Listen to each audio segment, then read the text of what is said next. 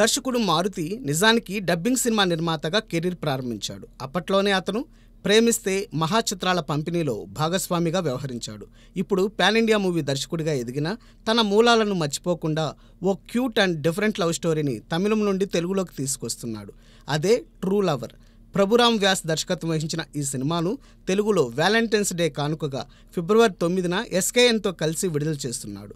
ఆ రోజున రాబోతున్న పెద్ద సినిమాలకు తమ చిత్రం ఎంత మాత్రం పోటీ కాదని ఎస్కేఎన్ టీజర్ లాంచ్ వేడుకలో చెప్పాడు.